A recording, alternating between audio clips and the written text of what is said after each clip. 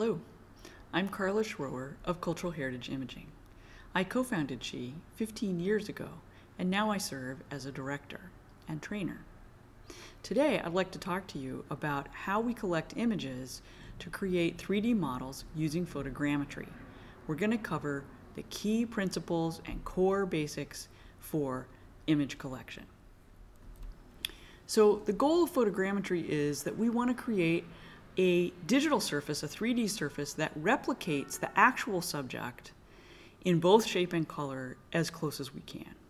And when we're creating these photographic image sequences, we want to make sure that the data we're collecting, if uh, we have a scientific goal, is that the data can be qualitatively evaluated, that the data can be reused by others, and that we're thinking about archiving and how the data can be preserved for future generations. So here's the basic equipment that you need. And you need a digital camera, ideally a digital SLR, because we want to control all of the settings. You need a wide angle lens, and we'll talk more about that in a minute. A monopod is super helpful just so that you can put the camera in different positions, up high, down low, uh, to get in, in all the different camera positions that you need. And then the third thing that's super helpful is to have calibrated uh, scale bars, a way to set real world scale in your project. So what we're going to talk about here is how to collect that set of images or that image capture network. And the idea is that the design of that network is going to give us good data that can be used in any photogrammetric software system. So this is independent of the software that you're going to use. It follows the core principles of photogrammetry, and that means the data can be reused by others today or also reused in the future. One of the key things that's necessary is to have good redundancy.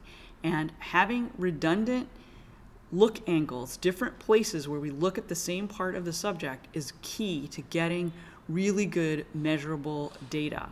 And this is just central to good scientific measurement systems. We need to take multiple measurements in order to know that we have a good measurement. And so in photogrammetry, we're looking at the number of different look angles on a given part of the imaging subject is what's going to give us that redundancy. So the design of our photogrammetric sensor network is that uh, we want to be able to move the camera to different positions. That's what defines the sensor network. And that a well-designed network that, that covers everything the way we need is going to be a prerequisite for getting good measurement.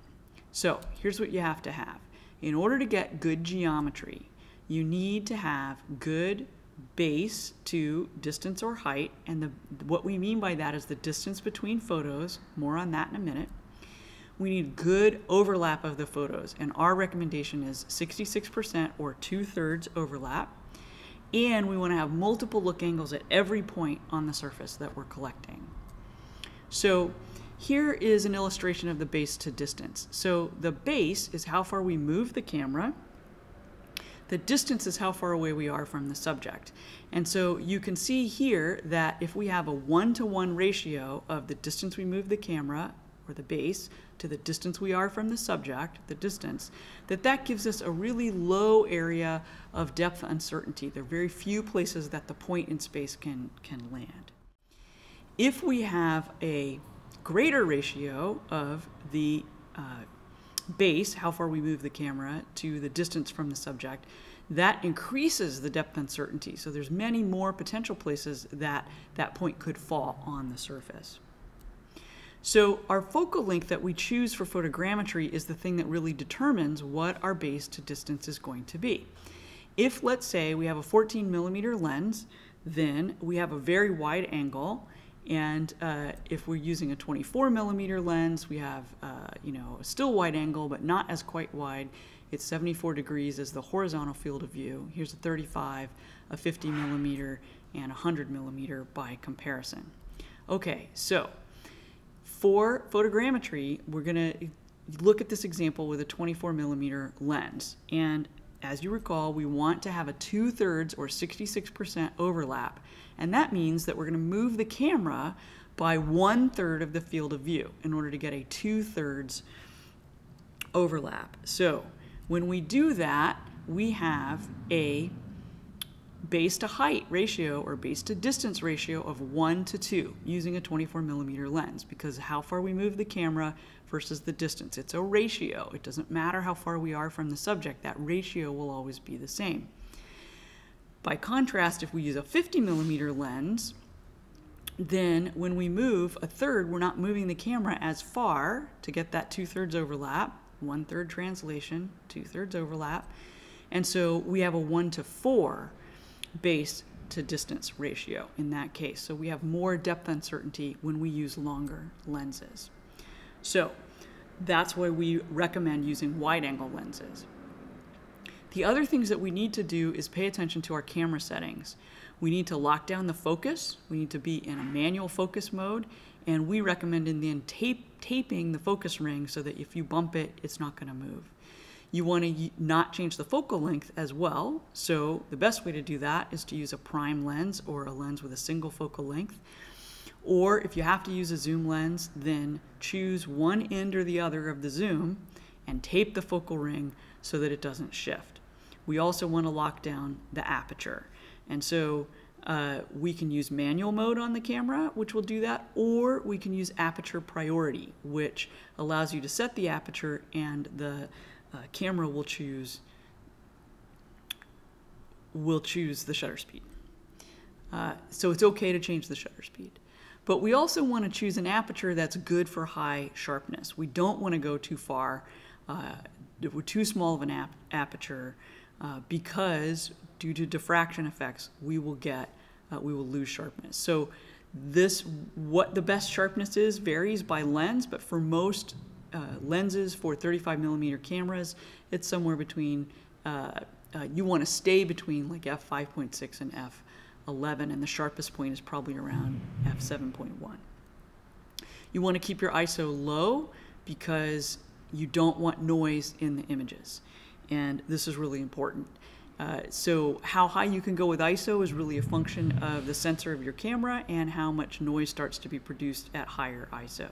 And as we just discussed, we want to use a wide angle lens. We stay between 18 to 50 millimeters in general. In terms of illumination, we want even, consistent illumination. And I'm going to hit this point several times. We need redundant subject, subject capture.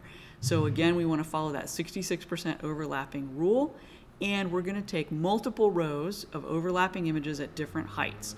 An example I'm going to show you uses three rows, and that's going to give us nine look angles at every point on the surface. So here's an example. Here's our area of interest, and we have scale bars around it.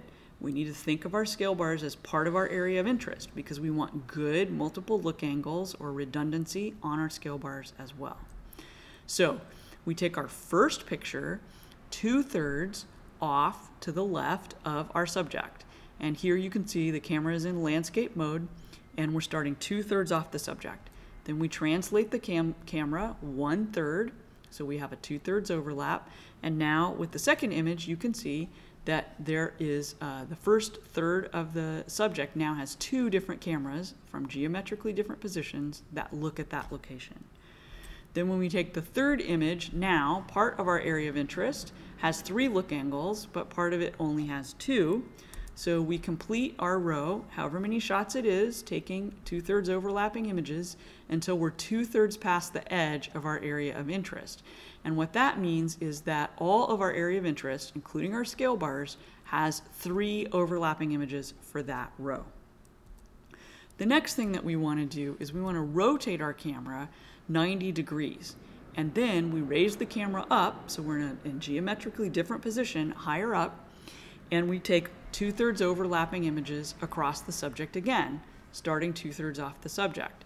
Now this time we won't be moving the camera as far because when we're in portrait mode, we, uh, we don't have as wide of an angle in each view. After we complete that row, then we want to turn the camera 90 degrees the other way or 270 degrees from our zero position and we take another sequence.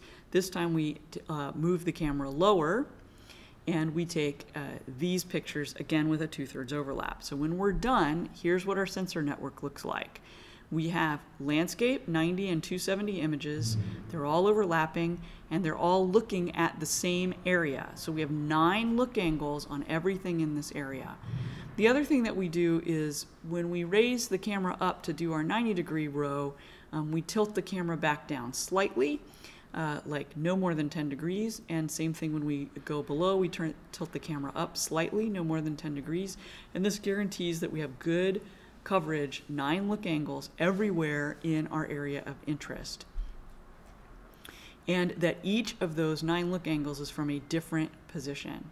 And why we rotate the camera is so that we can, in the software, it can get a good model of how light is transported through the lens. And that's called the camera calibration. And the camera calibration is really important to getting a good repeatable result. And so by moving the camera in this way, we give the software good data to get a very high quality camera calibration. So when we're done, this is what our sensor network looks like for this small area. So this is a fairly simple example, but it gives a really core, important, basic set of information.